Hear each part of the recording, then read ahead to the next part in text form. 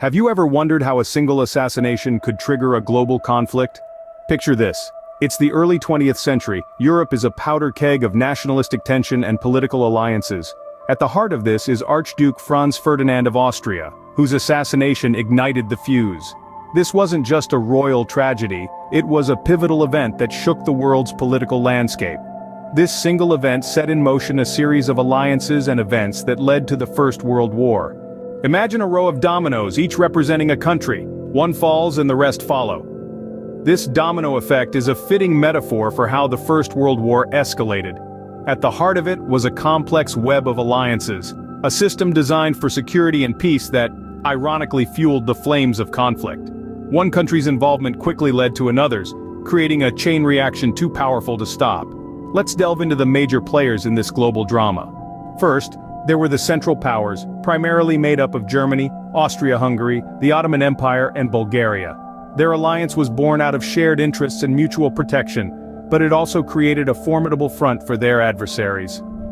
On the other side of the battlefield were the Allies, France, the United Kingdom, Russia, Italy and eventually the United States. Each had their own reasons for joining the fray, whether it was to honor alliances, protect territories or avenge past wrongs. Germany, a rapidly industrializing nation sought to expand its influence. Austria-Hungary on the other hand was driven by the desire to suppress the nationalistic ambitions of Serbia, which had been growing increasingly bold. The Ottoman Empire and Bulgaria, grappling with their own internal and external pressures, saw an alliance with the Central Powers as a strategic move to secure their interests. Meanwhile, the Allies were driven by a mix of old grudges, territorial disputes, and a shared fear of Central Powers' expansionism. France sought to reclaim territories lost in a previous conflict with Germany. The United Kingdom, wary of Germany's growing naval power, felt the need to protect its supremacy at sea. Russia, allied with Serbia, was compelled to enter the war, following Austria-Hungary's declaration of war on Serbia. Italy, initially neutral, joined the Allies in hopes of gaining territories. The United States, though initially reluctant, entered the war, swayed by a series of events that threatened its neutrality. As one nation after another got embroiled, the war grew, engulfing the world in its flames. The dominoes fell, one by one, setting the stage for a conflict of unprecedented scale and devastation. Picture a war not fought in open fields, but in muddy, disease-ridden trenches. Welcome to the horrifying world of trench warfare, a grim innovation of the First World War. Trench warfare was a strategic game of cat and mouse, where armies dug deep into the earth to protect themselves from the deadly firepower of modern weaponry.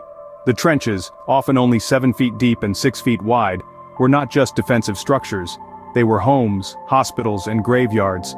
Soldiers lived, fought and often died in these cramped, squalid conditions. The strategy was simple, yet deadly effective. Troops would hunker down in these trenches, safe from the enemy's machine guns and artillery.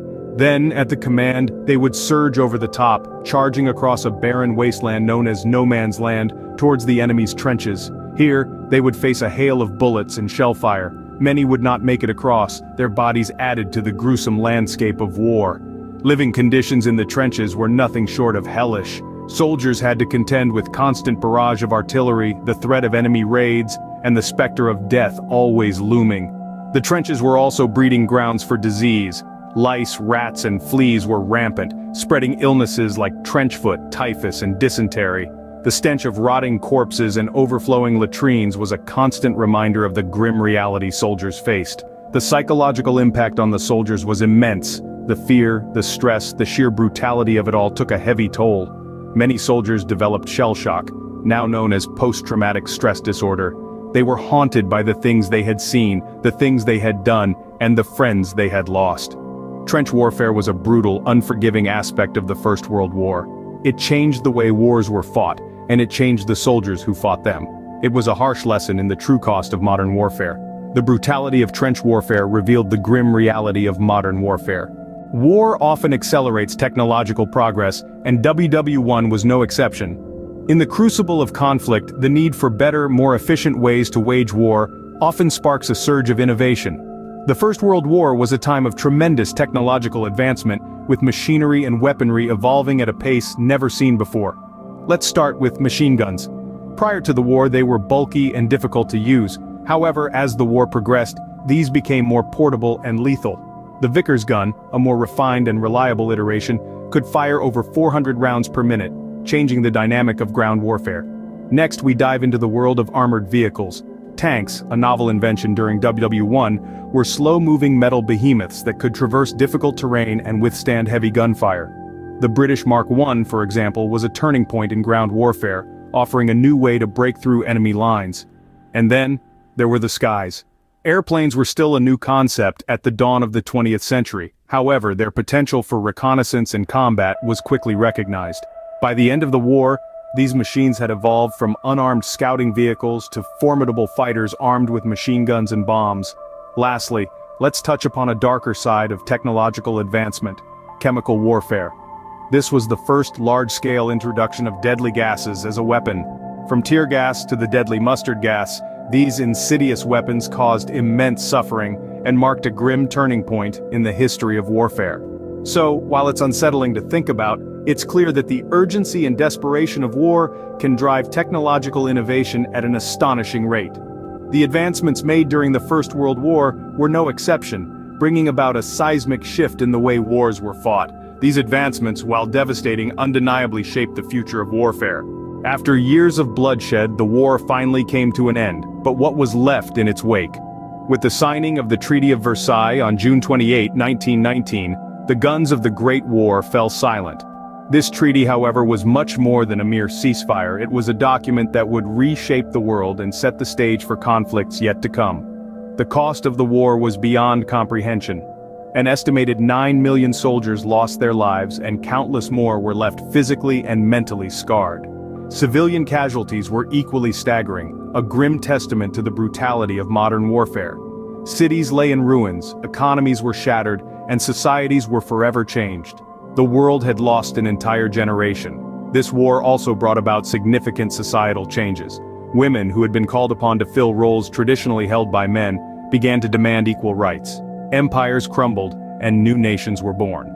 The map of Europe was redrawn, and the balance of power shifted dramatically.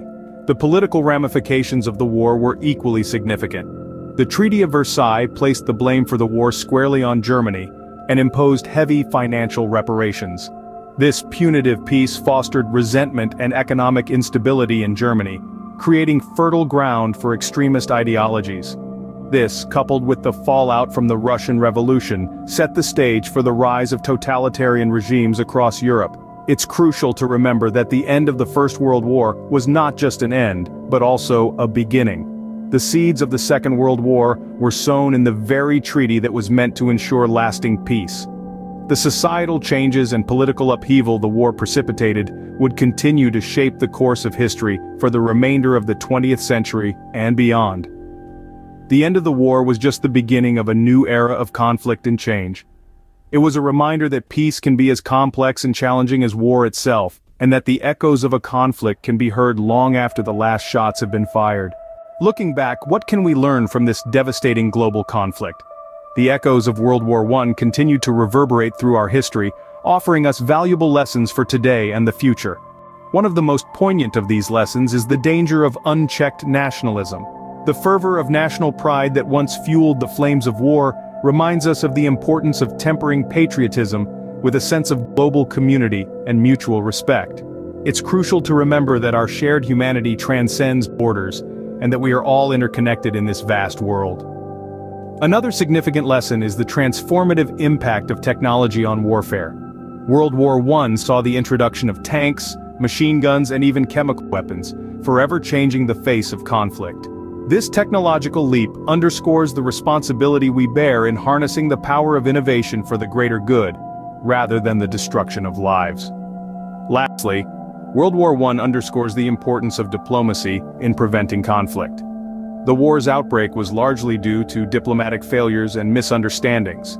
In the wake of such a tragic event, we are reminded of the need for clear, open, and respectful communication among nations to prevent misunderstandings that can lead to devastating consequences. As we remember the horrors and sacrifices of WW1, may we strive for a world where peace prevails over conflict. Let's take these lessons to heart, using them as guiding principles in our actions and decisions in hopes of a more peaceful, understanding world.